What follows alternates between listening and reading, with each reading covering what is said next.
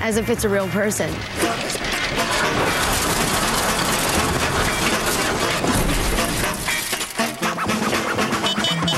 I think the character of Herbie is really tied into it being a 63 Volkswagen and the charm of that particular model. In the movie, his uh, love interest is a uh, 2004 yellow Volkswagen. So we've managed to get in the updated Volkswagen um, with the old school Herbie. Herbie, she's too young for you.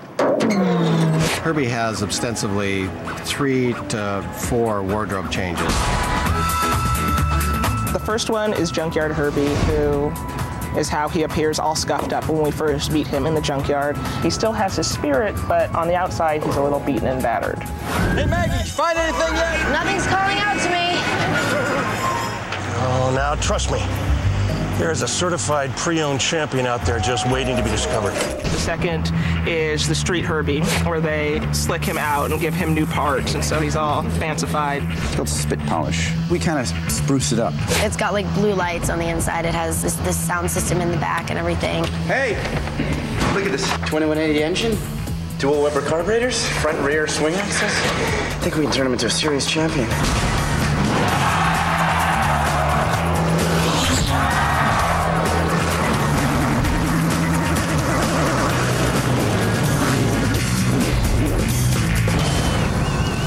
Third one was Demo Derby Herbie, where he gets captured by the villain. That's my car out there. Well, now you parked it in the wrong place. I'm gonna whack that bulb off my windshield!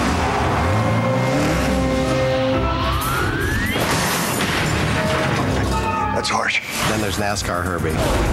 180 horsepower engine, full complete roll cage, complete tube suspension. We've had it to 118 so far. Put a slingshot on Dale Jarrett to move past the 88 car. It's weird because a lot of when we're doing it, sometimes when we're doing it with green screen, we can't see everything that the car's doing. So we're kind of like, well, what are we supposed to? What is our reaction now? And then the car will shake and we laugh, and you know, it's fun though. It's fun to be able to do that. It's really fun uh, working on his personality because he does have a lot of personality. Very spunky character. Oh, please. I'm blowing bigger things out my nose. I wouldn't insult him if I was you. He's sensitive. What was that? Stick around because coming up, I'll be showing you my new music video from Herbie Fully Loaded.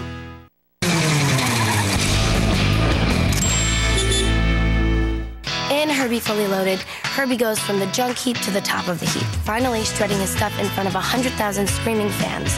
It's time to meet NASCAR Herbie. Let's race. The green flag is out and we're underway. And here comes Maggie Peyton and Herbie moving up on the outside.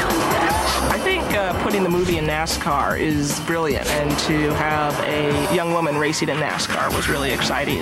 It's something that's fresh, and it just seemed like the right place for Herbie to go next.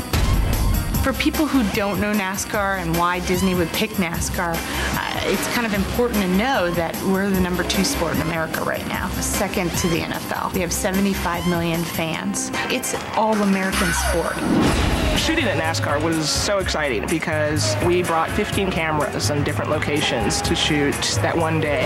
We had a circle vision camera with nine cameras mounted on it, and they led us on the track to do two laps at a high rate of speed. And we were there in the pit. They gave us a pit in the middle of the race, and so all of the footage of the Team Peyton crew was there on race day. Any suggestions, Dad?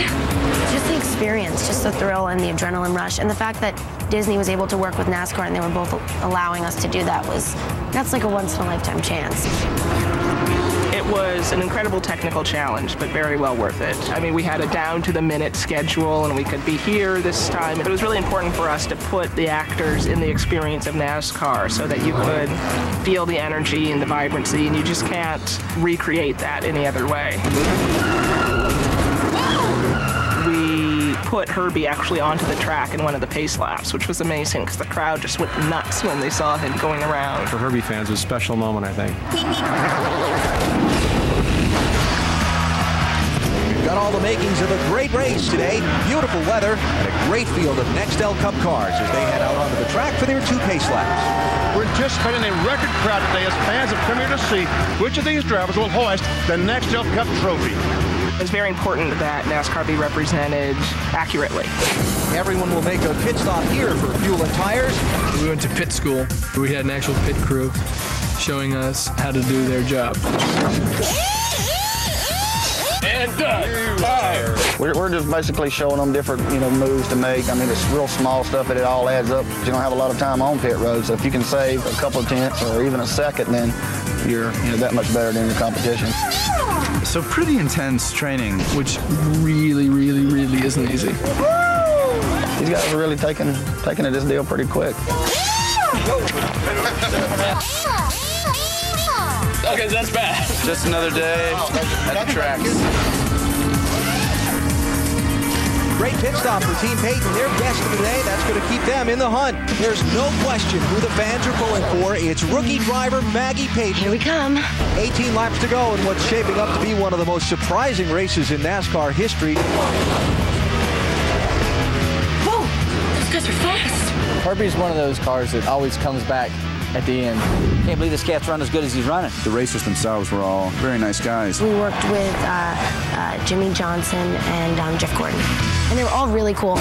Never seen a bug with a spoiler. Did you not touch that? Thank you. Soft top on a race car. I like that. This car just winked at me. A race car just winked at you. I swear, the car just winked at me. Are you feeling okay? I'm fine. Fine we sent Lindsay to the Richard Petty driving experience so that she could get a sense of what it uh, takes to drive a stock car. It was in, invaluable in order to try to recreate it on screen. It's scary, but it's a lot of fun. The cars go really fast. They go like 170 to 180 miles per hour.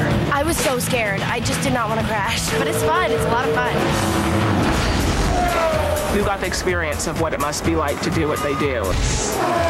I actually did learn how to have to drive um, a stick shift, which was fun because I didn't know how to drive one, and that was a lot of fun. You'll push the clutch in, put that in first gear, and what you do from here, just give a little bit of gas and just roll your clutch off nice and easy. We had a little bit of fun with Lindsay today. She showed up. She's a little bit nervous, which is normal. People coming out and hearing a race car for the first time. That was cool. That was cool. So it's going to be Maggie Peyton in the number 53 car for Team Peyton in a last-minute ruling by the race officials. It says here she calls the car Herbie. I've never heard of a VW Bug race in NASCAR, but it looks like Team Peyton found a loophole.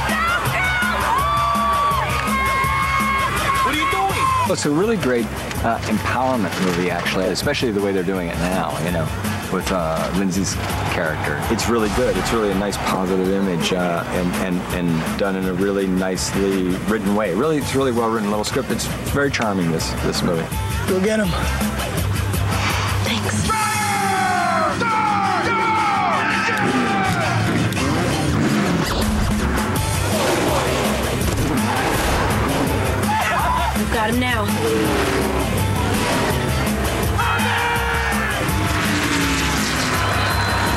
Okay, when we return, we're really gonna kick things into gear. That's right, Herbie and I will show you the music video for my song first, so don't go away. Well, Herbie, we're almost to the checkered flag, so you know what that means?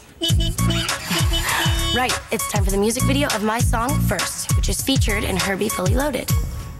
Well, that's about it. I hope you'll check out Herbie Fully Loaded when it races into theaters on June 22nd. You ready, Herbie?